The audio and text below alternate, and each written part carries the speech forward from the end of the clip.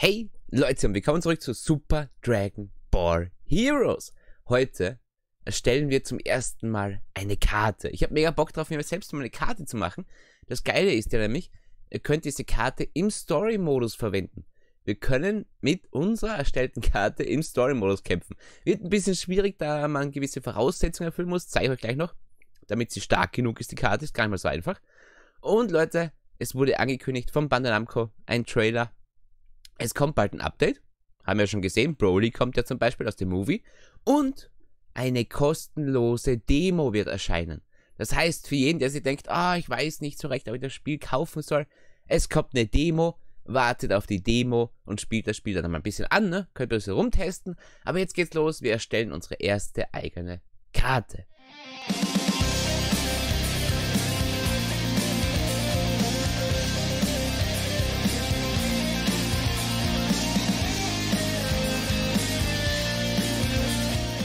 Dazu, Leute, gehen wir durch mal ins Menü in unser Armbändchen und zwar in den Erstellmodus. Klingt schon mal richtig, ne? wenn ihr zum ersten Mal, und das Linkskarte bearbeiten, so, wenn ihr das zum ersten Mal macht, bekommt ihr ein Tutorial. Mega praktisch, mega gut. Das braucht ihr auch. Guckt euch das Tutorial an, Leute.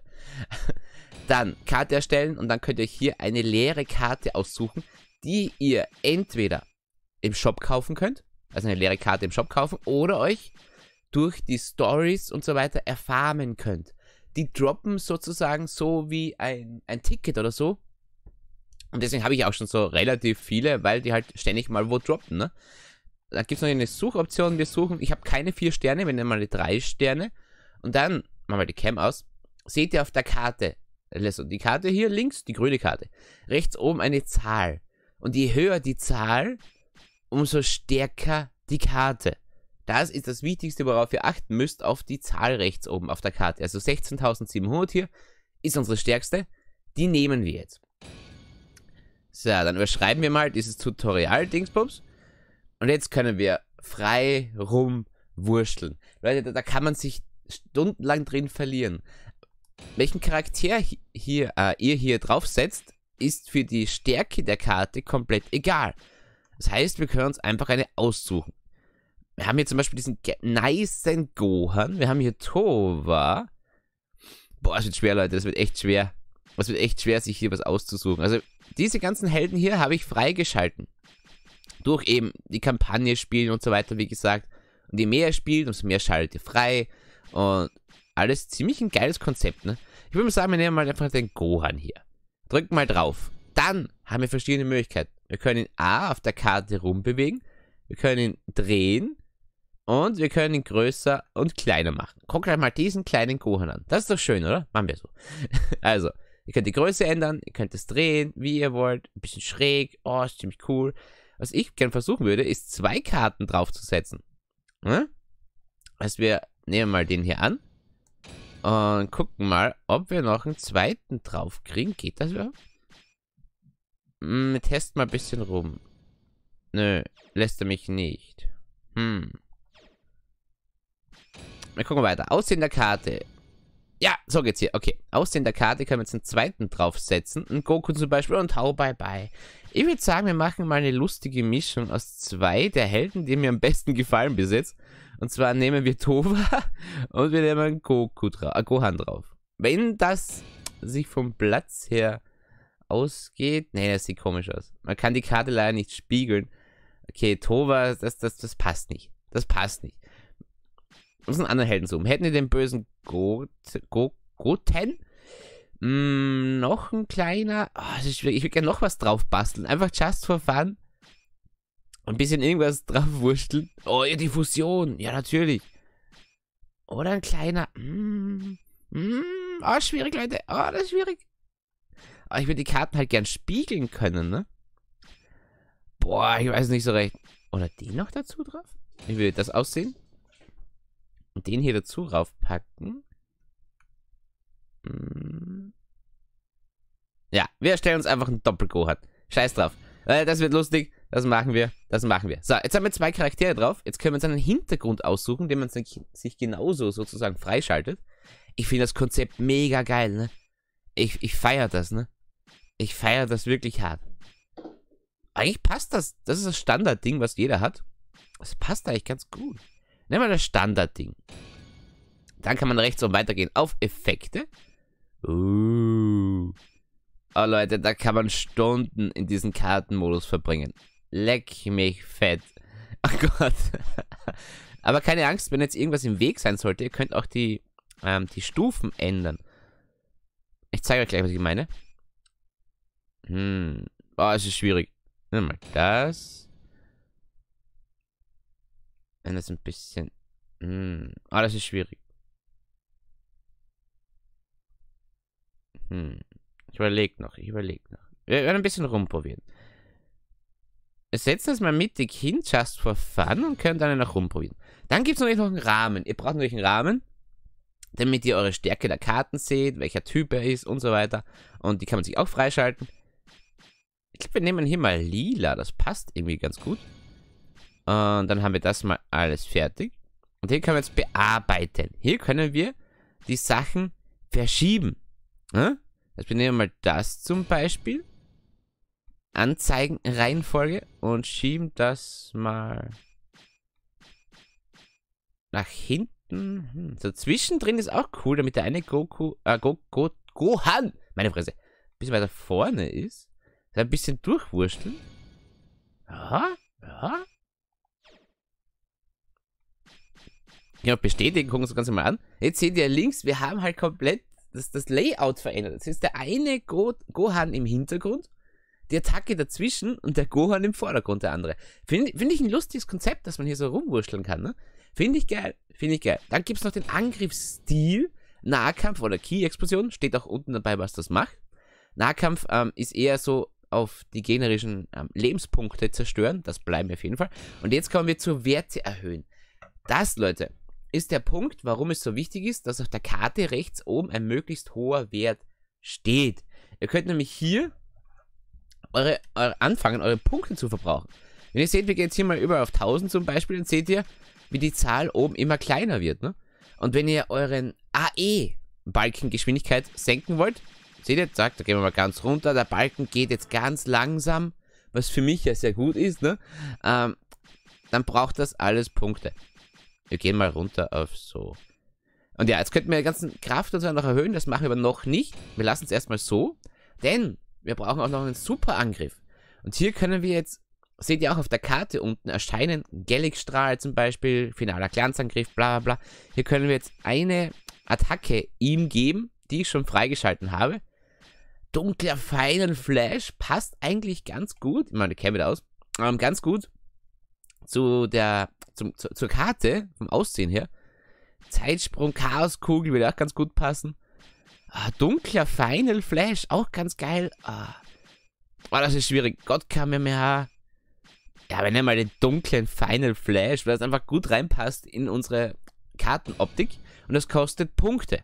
Ne? Ihr seht, ähm, ich zeige es nochmal ganz kurz. Hier drüben rechts steht benötigte Punkte 1500. Das hier braucht nur 1000 das 2500 und so weiter und so weiter. Also wir bleiben bei 1500. Und dann kann man noch einstellen, wie viel Energie das Ganze braucht. Wie stark das Ganze sein soll und so weiter.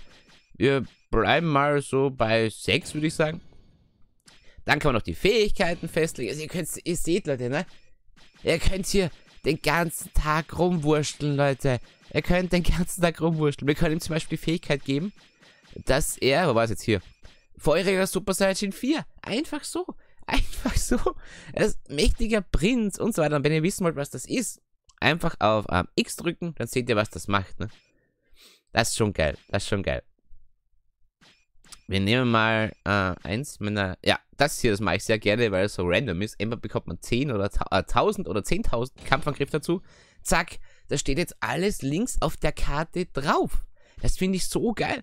Und dann könnt ihr hier noch eine Sache festlegen, und zwar, welche ähm, Fähigkeiten er benutzen kann. Hier zum Beispiel uns in den Super Saiyajin 1 Bardock zu verwandeln, ähm, die, die ganzen Sachen halt, die ihr kennt, die Fusionsangriffe und so weiter und so weiter. Mm, das könnte man hier nehmen, so Schlachtruf, ihr könnt alles nachlesen wieder. Ähm, Konteransturm finde ich immer ziemlich geil. Mm, Dreifacher Angriff wird von YouTube gesperrt. Ähm, äh, Kräfte, Räuber, ihr könnt hier aussuchen, was ihr wollt. Ne? Wir nehmen den Konteransturm. Krasse Fähigkeit drauf. Und dann gibt es noch Einheiteneffekte.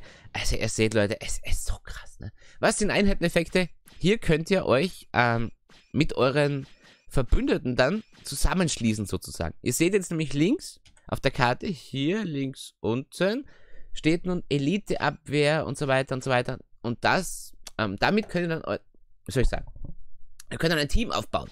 Ich zeig's euch gleich mal. Wir nehmen einfach irgendwas einfach mal, damit ich euch zeigen kann. Und dann könnt ihr euch ein Team hier bauen. Unsere Karte soll zusammen mit zum Beispiel äh, mit einer anderen Gohan-Karte, wäre eigentlich ziemlich cool. Mit Gogeta, mit Goku Black, mit, Go mit Gogeta GT. Es soll einfach zusammen funktionieren damit, ne? Wir nehmen mal Gogeta GT, dann nehmen wir noch einen Helden dazu. Einfach nur mal zum Zeigen, ne? Nur mal zum Zeigen. Dann nehmen wir noch einen dunklen Broly dazu, einfach so Tastverfahren. Also, wenn diese drei Helden sich dann in eurem Team befinden, ne, dann könnt ihr damit ähm, den Einheiteneffekt auslösen. Also alle drei zusammen ergeben dann eine Einheit. Kennt ihr ja von anderen Karten, die wir schon gespielt haben in der Kampagne. Und dadurch aktiviert sich dann die Fähigkeit. Und jetzt seht ihr rechts oben, wir haben jetzt noch 8700 übrig von 16.700 Punkten. Das heißt, wir können jetzt hier noch zum Beispiel sagen, boah, wir erhöhen die Kraft noch so weit, wie wir Punkte haben. Wie hoch geht das eigentlich? Oh, eine 5000er Karte ist okay. Aber wir können die Punkte nicht aufteilen hier auf so hier zum Beispiel. Den Rest ein Attack, zack, bestätigen. Jetzt hat er die Kampfkraft, seht ihr alles auf der Karte oben drauf.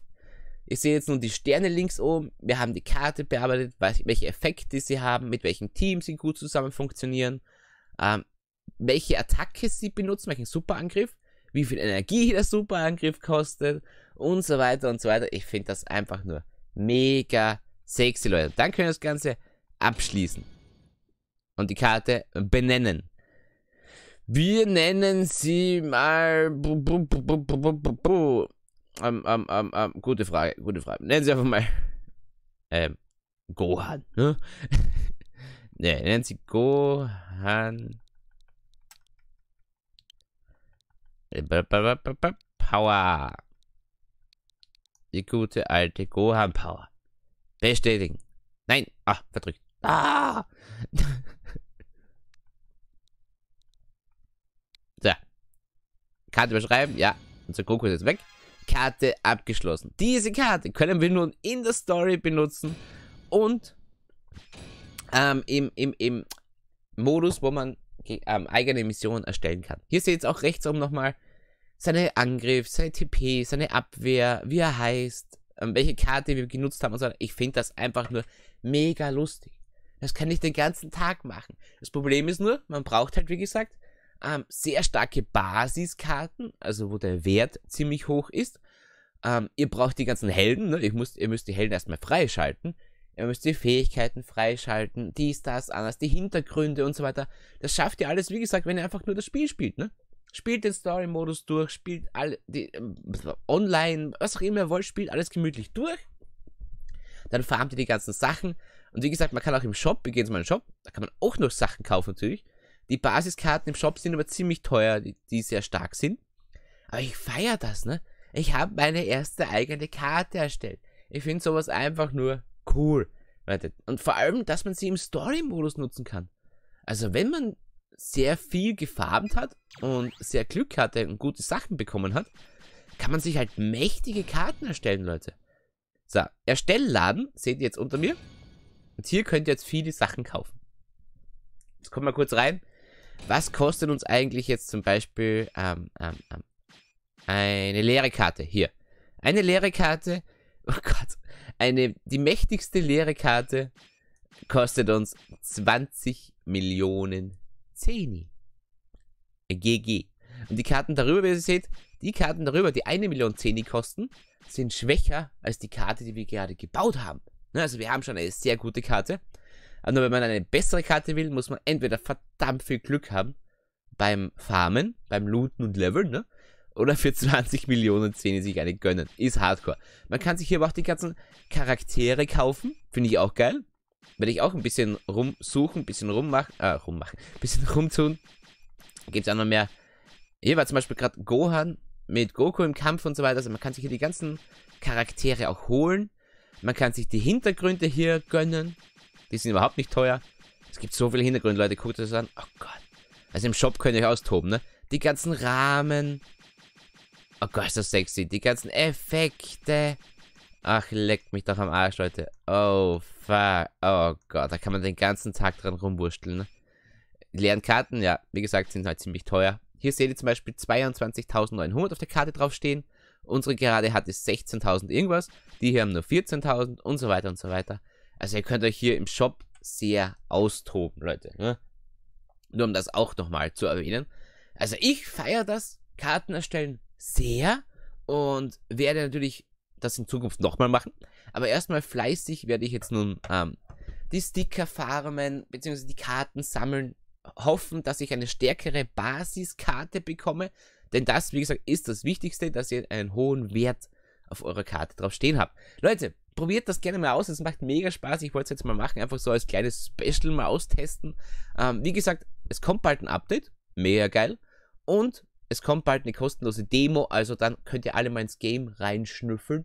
Gönnt euch einfach die Demo, wenn sie da ist, sage ich euch Bescheid. Gestern gab es eine Story-Folge von Super Dragon Ball Heroes.